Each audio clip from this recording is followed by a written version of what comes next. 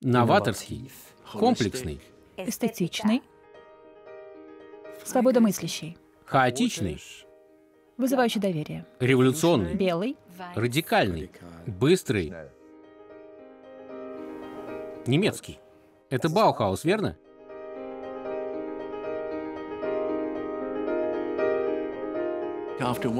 Спустя сто лет идеалы Баухауза еще актуальнее, чем были в то время. Сто лет назад Баухаус поднимал вопросы о другом будущем. Как мы будем учиться, как мы будем жить в будущем. Баухаус оказал влияние на мир в самых разных областях. Баухаус стремился создать универсальный язык дизайна.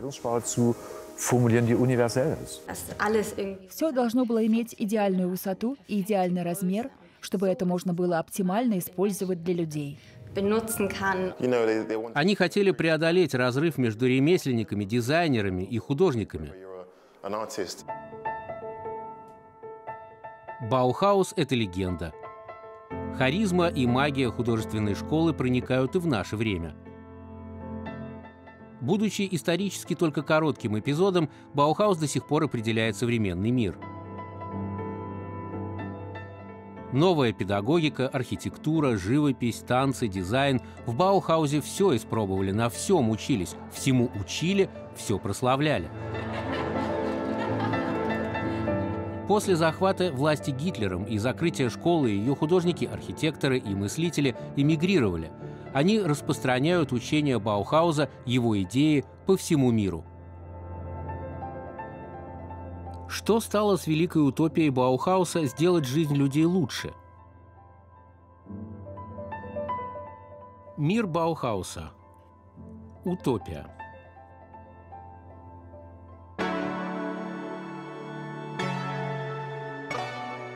В начале 60-х годов прошлого столетия Вальтер Гропиус планирует большой жилой комплекс на окраине Берлина – с дефицитом жилья решено было бороться методами современного градостроительства. Почти все квартиры предназначены для социально незащищенных граждан. Спустя 30 лет после закрытия Баухауса в Германии здесь это должно было стать реальностью – лучшие условия жизни для масс.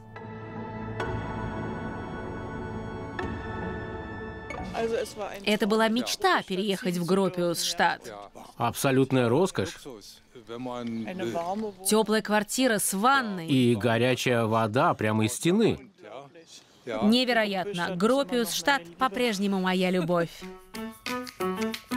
Юта Вайсбекер и Ханс Георг Митки переезжают в свои квартиры вскоре после завершения строительства. Когда в 1969 году я вышла замуж, квартир не было. Вообще.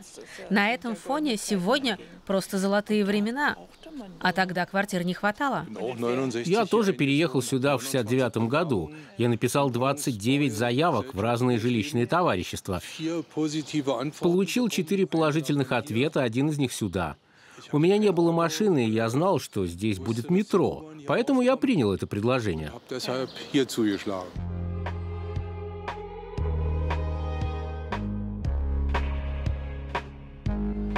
С конца 50-х, начала 60-х годов люди стали задумываться о глобальном решении проблемы дефицита жилья. Гропиусу и его архитектурной фирме Tech The Architects Collaborative было предложено составить генеральный план. В Берлине еще до Второй мировой войны были снесены задние и боковые дома в плотно застроенных кварталах, чтобы было больше света, воздуха и солнца. Новое жилье планировалось возвести за городом. Идею больших городских ландшафтов архитекторы разработали еще в 20-х годах прошлого века, но только на бумаге, как утопию. Гропиус тоже планирует свой поселок Утопию, но его планам не суждено сбыться из-за потребностей времени. В 1961-м Берлинская стена делит город на восток и запад. Внезапно возникает дефицит жилья. Начинается спешное строительство. Вместо изначально запланированных 14,5 тысяч квартир строят 19 тысяч.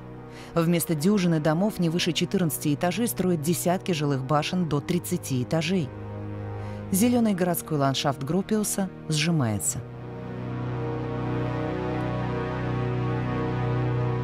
Er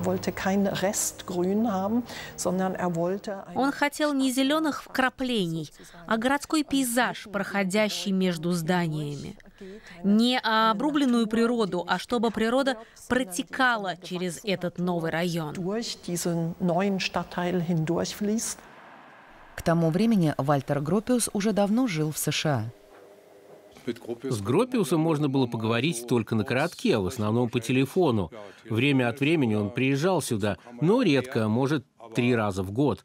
Он этим проектом не руководил, был своего рода консультантом, таким архитектурным богом.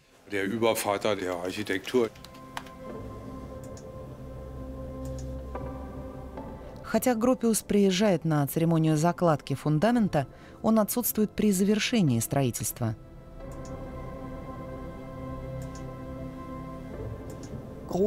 Гропиус не мог повлиять на конечный продукт, и поэтому сопротивлялся и руками, и ногами тому, чтобы его имя было в названии комплекса.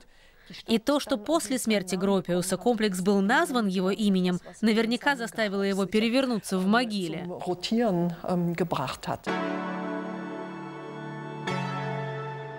С 80-х годов прошлого столетия Гропиус-штат считается проблемным районом.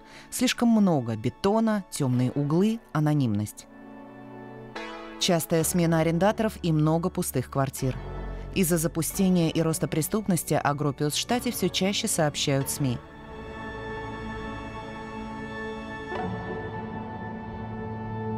Юта Вайсбекер и Ханс Георг Митке борются с плохим имиджем – все были здесь счастливы и не понимали, почему о нас так плохо пишут, что, мол, это запущенный спальный район. Мы живем здесь с нашими детьми, и да, нам тут хорошо.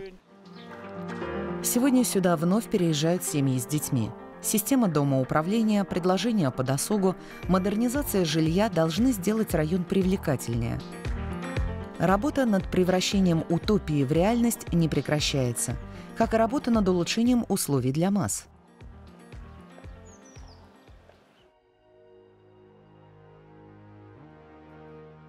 В других частях света нужны еще более масштабные утопии. В Латинской Америке потребность в функциональном дизайне особенно остра в жилищном строительстве и инфраструктуре больших городов. Латинскую Америку и идеи Баухауса связывает представление, что архитектор не только творец, но и находится на службе общества. В конечном итоге мы, архитекторы и градостроители, работаем для людей – Каролина Солдариага – градостроитель. Когда в ее родном городе Медельине планируют крупные инфраструктурные проекты, она следит за тем, чтобы от них не страдали жители. Главная проблема этого колумбийского города – пробки на дорогах. Во все стороны разрастаются трущобы. На узких крутых улицах регулярное автобусное сообщение невозможно –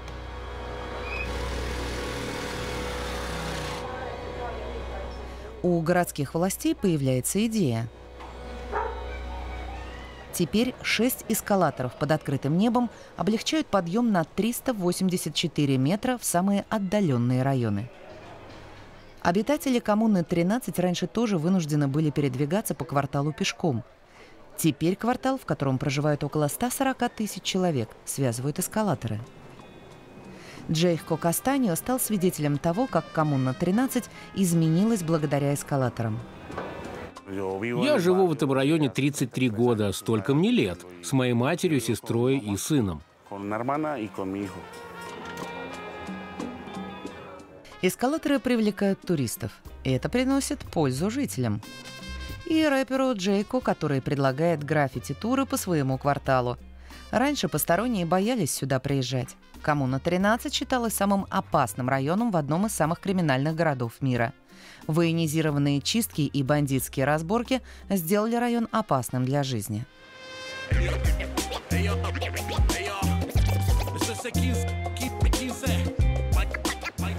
Много моих друзей погибло, много соседей, много людей просто исчезли. В общем, здесь много чего произошло. Видение Баухауса «сделать жизнь людей лучше» в современных условиях это означает и внедрение таких инфраструктурных проектов, как эти эскалаторы.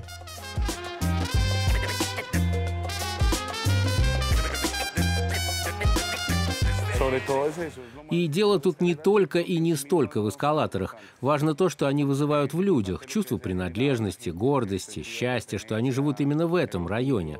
Сегодня более 30 семей живут на доходы от магазинчиков, которые пооткрывались рядом с эскалаторами. Благодаря эскалаторам в этом квартале немного улучшилось экономическое положение. Entonces también hay una economía en el barrio que se está moviendo gracias a las escaleras eléctricas. Привет, Консуэла. Привет, как дела? Хорошо или нет? Очень хорошо, мой мальчик. Консуэла Гарсия теперь живет на доходы от своего маленького магазина. Она помнит и другие времена. Раньше даже добраться до квартала было сложнее. Да, очень-очень сложно. Это было ужасно. И дорога не всегда была вымощена, верно? Нет, у нас были... Дороги из глины и земли. Глина и земля, точно. И когда вы переехали сюда, здесь уже было много домов, верно? Да, да, но многие дома были из дерева. Да, точно. Да, именно там была тропинка, крутой склон, где иногда собиралась вода. Это был такой узкий овраг.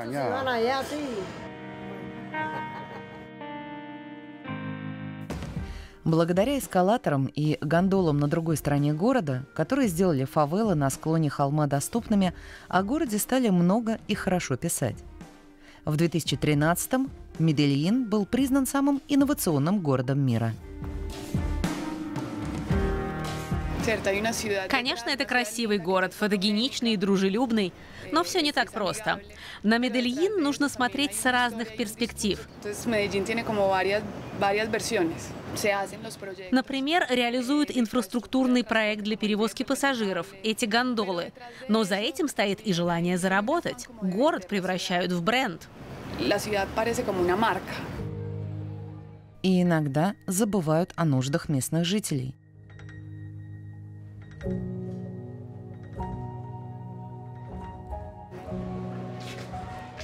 Из-за инфраструктурных проектов из квартала могут быть выселены более 600 семей.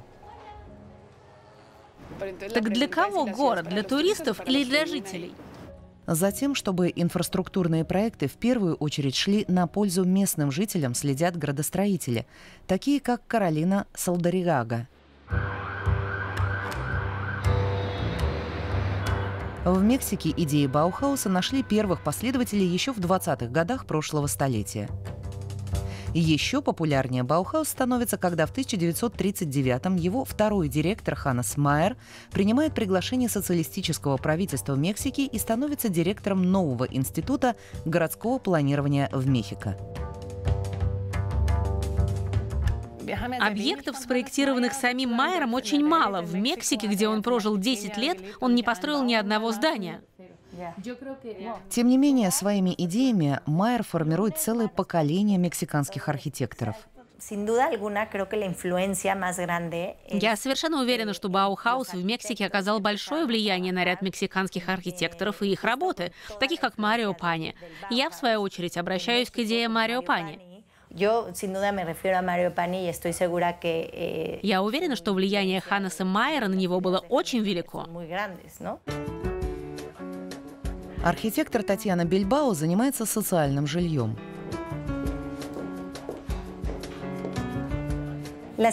Ситуация с жильем в Мексике критическая. Очень высокий спрос на квартиры. Жилья мало, и оно плохое. Ситуация плачевная. Hay mucha precariedad Архитектор хотела создать более просторное социальное жилье, чем предписанное государственными нормами. Меня интересовала структура. Я сказала, может, нам удастся спроектировать конструкцию для дома площадью более 43 квадратных метров, потому что 43 квадратных метра — это слишком мало.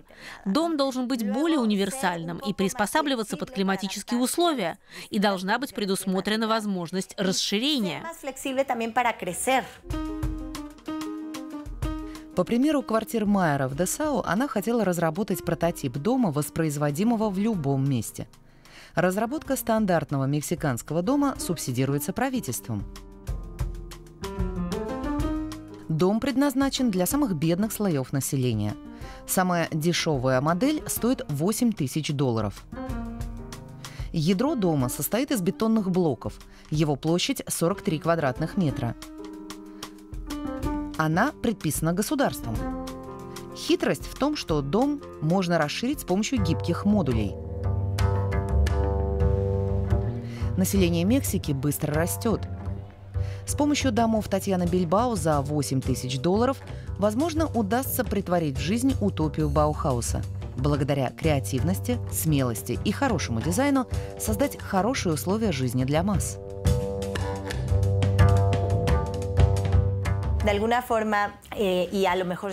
Может быть, это наивная мечта, желание, чтобы мы, архитекторы, могли иметь такой потенциал. Но он у нас действительно есть. Для меня Баухаус означает иметь видение будущего и представление о том, как мы, архитекторы, можем внести свой вклад в его построение. Этим мне в первую очередь близок Баухаус.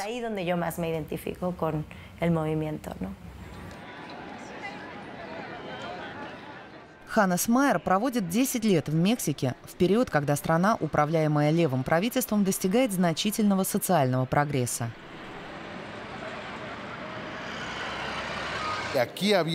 У нас были архитекторы, которые говорили, нет, архитектура – это вид искусства.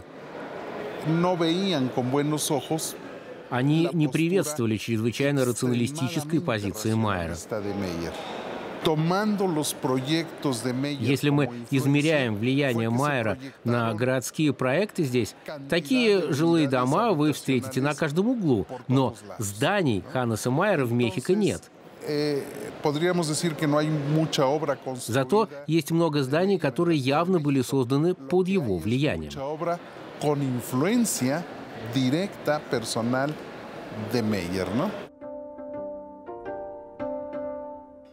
Представители Баухауса Джозеф и Ани Альберс также привносят идеи своей школы в Латинскую и Южную Америку. Они получают известность благодаря своему предварительному курсу, который они проводят в поездках по Мексике, Кубе, Перу и Чили. В Мексике Ани Альберс увлекается техникой и традиционными узорами, которые она впоследствии преподает в Black Mountain College. Мексиканская художница Амор Муниос вдохновлена текстильным искусством Ани Альберс. Она основала Юкотех на полуострове Юкатан – лаборатория технологий будущего и традиций в древней деревне Майя. Эти швеи раньше работали на текстильной фабрике. С момента ее закрытия они вынуждены жить на доходы от своих ремесел. В основе этого проекта идея сотрудничества и соучастия. А еще он призван объединить традиционные ремесла с движением «сделай сам» и приблизить друг к другу ремесла и технологии.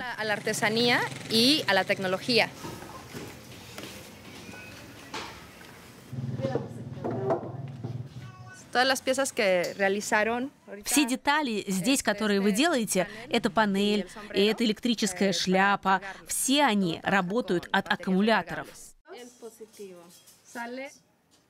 Солнечные панели соединены проводящей стальной проволокой, чтобы сформировать электроцепь. Проволока нашита на подкладку ручной работы из материала геникен, который изготавливается из агавы.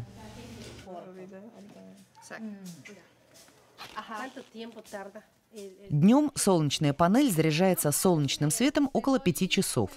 Затем она две ночи дает электрический свет. Ночью мне это очень пригодится, потому что у нас в деревне темно. Я оставляю ее включенной всю ночь. Это очень полезная штука. Когда я иду в туалет или слышу странные звуки, свет очень яркий. Это просто здорово. Амор поддерживает женщин, говорит, что они могут гордиться приобретенными знаниями.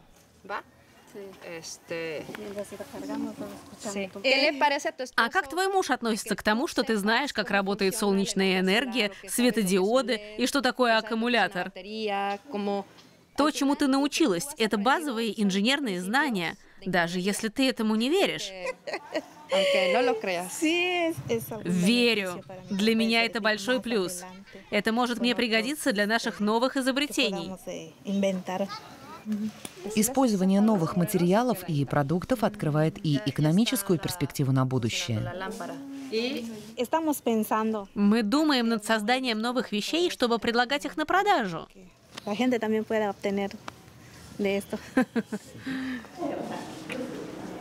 Сегодня традиционное волокно агавы в регионе Юкатан почти не выращивается. Зато растут продажи импортных синтетических волокон из Китая. Если мы не хотим, чтобы канули в прошлое народные ремесла, я думаю, что технологии могут помочь сохранить и то, и другое – ремесла и их традиции. Соединение традиционных ремесел и технологий – это шанс обеспечить будущее швеям Юкатана.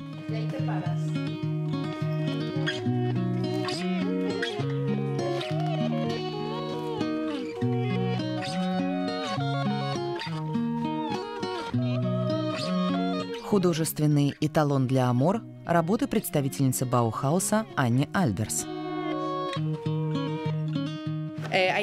Есть работы Анни Альберс с периода ее пребывания в Black Mountain College. Ей приходилось работать с тем, что есть. Выбор материалов был скудный, поэтому она начала использовать натуральные материалы. Пастбищную траву, эвкалипт, джут. Она сочетала их с промышленными материалами, как мы в Юкатек. Предметы быта из хай-тека ручной работы. Баухаус утопия современности? Баухаус можно найти во всей Латинской Америке. Связь с ним очень тесна. Лучший тому пример — это маленькая утопия, эти социальные эксперименты. Хоть и в небольшом масштабе, но этот пример демонстрирует, ради чего замышлялся Баухаус.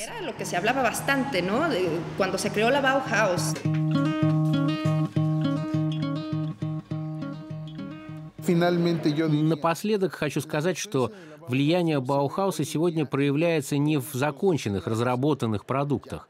Прошло много времени. Сто лет — это не так уж мало.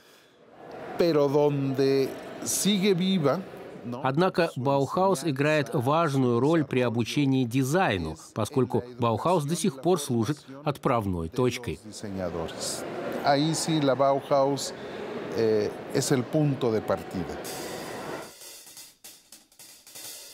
Первую очередь Баухаус был школой, целью которой было воспитание нового человека. Поэтому педагогика имела там особое значение.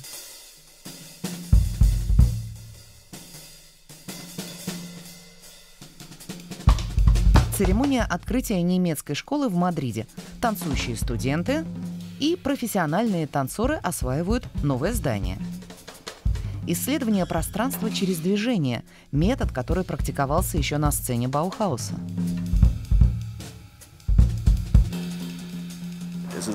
Эта школа выделяется своей архитектурой. Она подчеркивает, это немецкая школа, это самобытность немецкой школы, это открытость, которую я увидел, когда попал в это здание, убедила меня. Здесь не все обнесено стеной, архитектура подчеркивает открытость школы.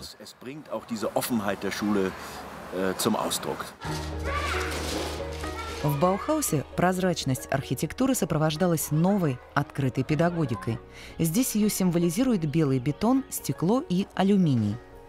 Внутренние дворы состоят из похожих на ячейки, соединенных друг с другом зданий, в чьих нишах дети могут найти уединение и покой. Через окна в крыше дневной свет проникает в школьные дворы. Архитектурная концепция имеет несколько измерений. Для нас, как школы, важно подчеркнуть, что отдельные зоны – часть единого целого. Это возможно благодаря переходам, которые мы видим во дворах. Большие окна позволяют насладиться прекрасным видом из классных комнат. Э, Такой красивый, естественный пейзаж – это, конечно, особая удача. Зеленый цвет создает нужную для образования атмосферу, спокойствия и долгосрочных перспектив.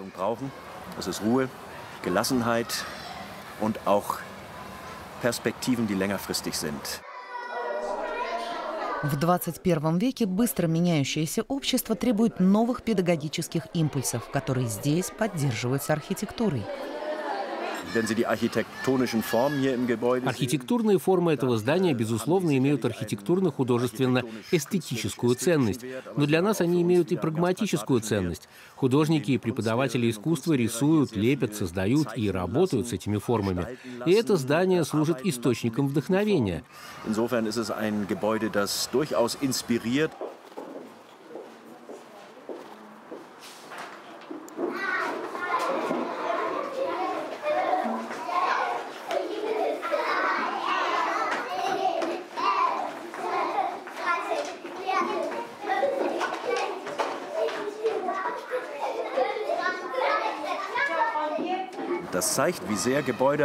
Это показывает, что связь со школой может возникнуть и благодаря зданию. Как мы хотим жить в будущем? Этот вопрос, который задавали себе создатели Баухауса, актуален до сих пор. Ответ на него продолжают искать.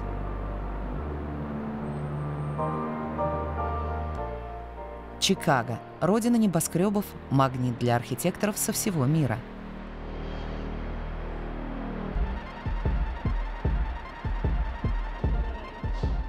Здесь в 1937 был основан Институт дизайна IIT, новый Баухаус. IIT – преемник оригинального Баухауса из Германии. Главное направление исследований – Human Centered Design. Этот вид дизайна не имеет ничего общего с архитектурой или мебелью. Он формирует реальность, в которой мы живем. Исследователи сопровождают проект «Парк восстановления» в Детройте, штат Мичиган – ни в одном другом городе США нет так много пустых пространств.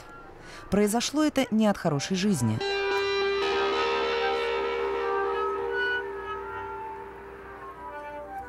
За последние десятилетия автомобильная промышленность в Детройте развалилась. В городе высокая безработица. В 2013-м городские власти объявили банкротство.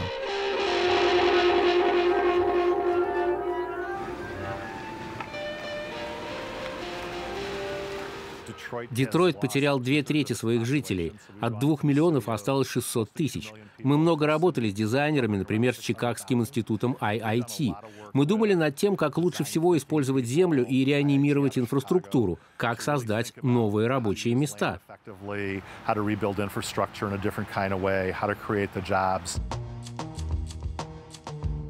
Избыток места тоже может стать источником проблем. Гарри Возняк был наркоманом, сидел в тюрьме, потом не смог найти работу. История собственной жизни послужила для Гарри мотивацией. Несколько лет назад он основал парк восстановления. На бывших заводских площадях он построил теплицы, в которых трудоустроены более 20 человек –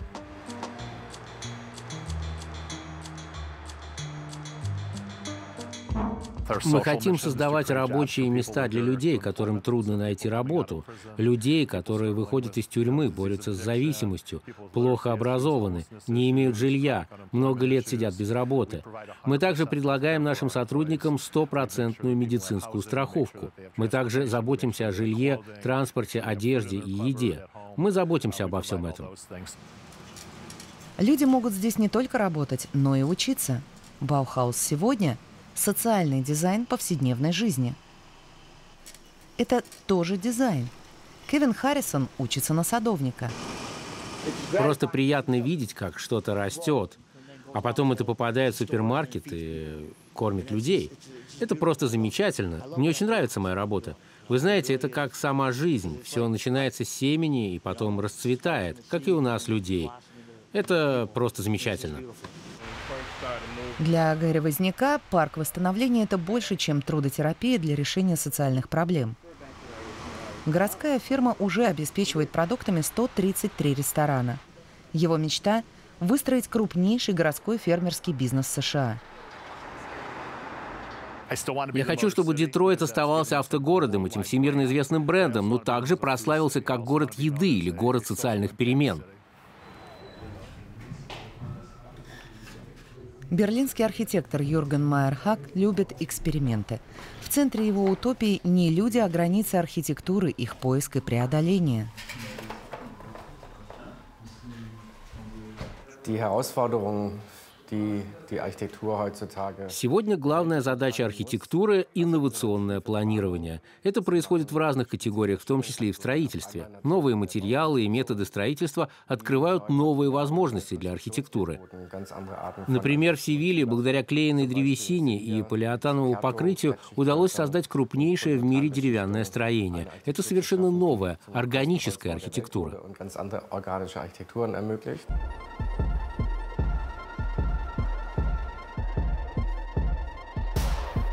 Ширина конструкции «Метрополь-Парасоль» в испанской Севилье достигает 150 метров. Сначала было даже не ясно, устоит ли конструкция. Технология склеивания более 3000 кусков дерева была разработана в одном немецком институте. Цель архитектора – выше, быстрее, дальше.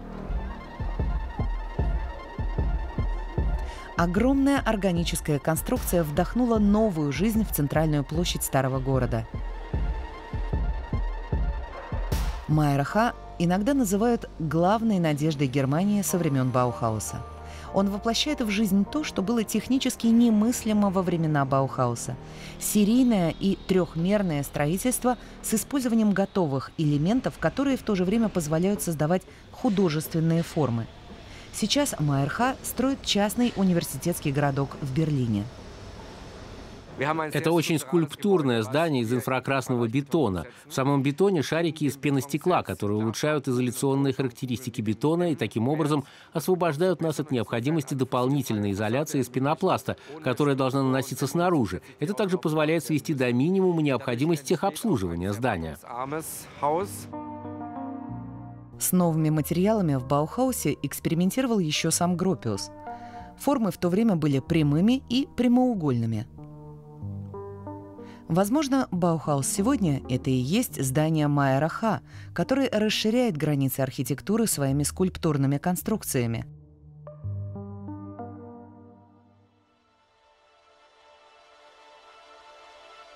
Времена Баухауса, период восстановления после Второй мировой войны и последующие десятилетия избытка на Западе прошли.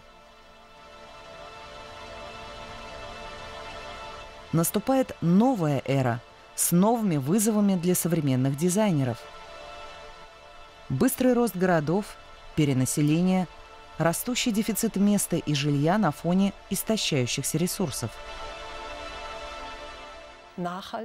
Устойчивое развитие – это тоже важная тема для Баухауса. Бережное отношение к ресурсам и рабочим материалам. Нельзя забывать, что они начинали во времена бедности и дефицита.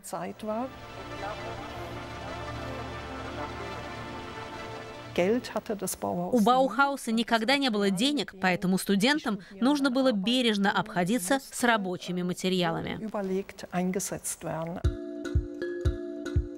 Сегодня на смену девизу «выше, быстрее, дальше» пришел «меньше».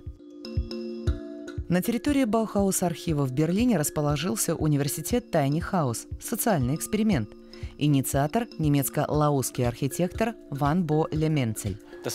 Сто лет назад Баухаус задавал вопросы о другом будущем. Это было время смены политической системы, перехода от монархии к демократии.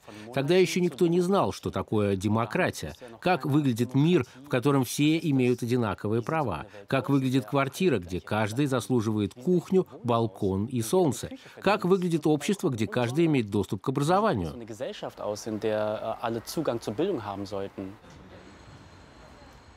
Спустя сто лет после основания Баухауса все больше людей вновь задумываются о новой культуре строительства и образования.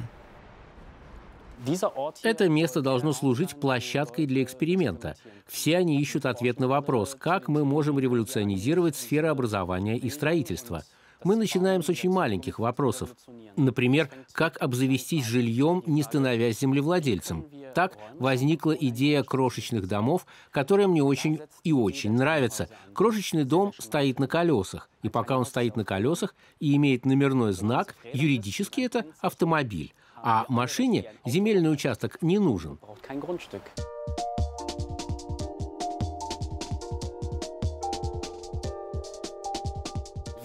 Площадь этой комнаты всего 6,5 квадратных метров. Это очень-очень мало. Но если вы посмотрите вокруг, обстановка почти что декадентская. У меня высокие окна и высокие потолки. 3 метра 60 сантиметров. Не пора ли нам умерить свои амбиции? Работать, спать и жить менее чем на 7 квадратных метрах. Это минимализм в действии. Вот здесь гардеробная. А вот ванная. Вот туалет, компостный туалет. А вот и душ. За маленьким деревянным домом стоит большая идея – жить дешево, гибко и демократично. Дом для цифровых кочевников. Для людей, которые не могут или не хотят иметь постоянное место жительства. А раз так, почему бы сразу не переехать в кемпинг? Мини-дома состоят из модулей, их легко перевозить и собирать. Материалы пригодны для вторичной переработки. А еще Tiny House — это мобильность. Мы считаем, что должны работать на благо общества. Мы стараемся найти решения для актуальных проблем — голода, недостатка воды, энергии, миграции. В кемпинге, конечно, эти проблемы не решишь. Согласно прогнозам, к 2050 году население планеты достигнет 10 миллиардов человек. Нужно искать новые формы совместного существования. Эта мысль все еще сидит в нас очень-очень глубоко. Как можно больше покупать, владеть, продавать, потреблять. Мол, жрите и, пожалуйста, не задавайте вопросов. Мы жили так последние сто лет, и это было нормально. Но, быть может, теперь нам пора переосмыслить свой образ жизни и спросить себя, в чем смысл этого бесконечного потребления? Перестать потреблять, начать строить. Вот к чему я призываю.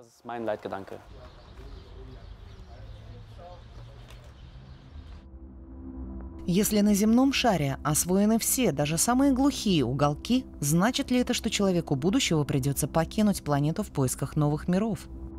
Чтобы добраться до Марса, нужно сделать промежуточную посадку на Луне. Так что сначала Луна, а потом Марс. Этот человек уже построил на Земле все возможное и невозможное. Сейчас он проектирует дома для Марса. Британец сэр Норман Фостер, один из самых известных архитекторов современности. Меня всегда завораживал космос, полеты, космолеты, экспедиция на Луну.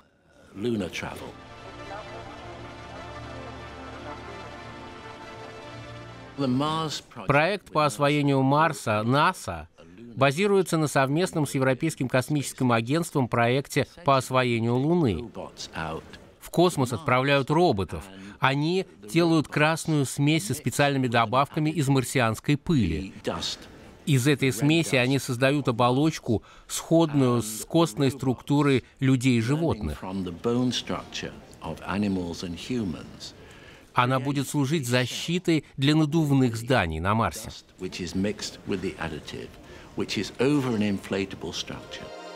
Цель проекта Фостера – исследовать, что можно построить из материала, имеющегося на Марсе. Потому что отправлять в космос тонны стальных балок и изоляционных материалов – неэффективно. Конечно, это научная фантастика. То, о чем я мечтал в молодости, теперь становится реальностью. А еще я думаю, что этот космический проект немного напоминает самое высокое здание, как средневековые соборы, которые возвышались до небес – я считаю, что природа человека стремится к чему-то более высокому, возвышенному, переступать границы, расширять пределы человеческой изобретательности, бросать вызов гравитации.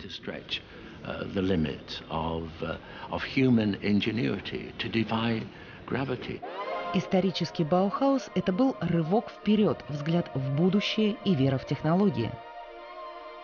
Наша современность – виртуальная, цифровая, глобализированная – и в недалеком будущем полностью технологичная. Идея освоения новых планет кажется смелой, радикальной и в то же время последним средством расширения среды обитания. Там, на Марсе, людям снова придется жить в пещерах. Я думаю, что будущее нашей планеты по-прежнему на нашей планете. Поэтому более разумно сначала навести порядок на Земле, улучшить условия жизни большинства – этого можно достичь с помощью идей Баухауса. Сегодня идеалы Баухауса еще более актуальны, чем сто лет назад. Нам нужен творческий дизайн, чтобы справиться с вызовами нашего времени, быстрым ростом городов, загрязнением окружающей среды, изменением климата. Я говорю об окружающем нас мире, улицах, парках, мостах, общественном транспорте. Все это дизайн, а Баухаус — это тоже дизайн. У Баухауса было очень оптимистичное, очень утопическое и в то же время приземленное представление о дизайне. So it was a very optimistic, a very utopian, but down to earth view of design in the broadest sense.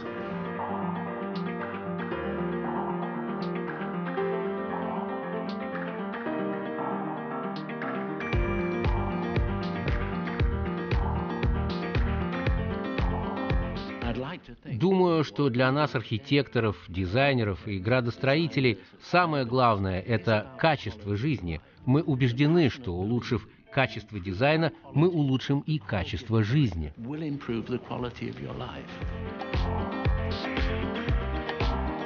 Никто не знает, как мы будем жить в будущем.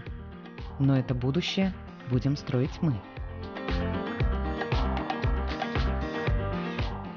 И если единственной константой остаются перемены, тогда нам всегда будет нужен дизайн. По крайней мере, пока люди населяют эту планету. И не только ее.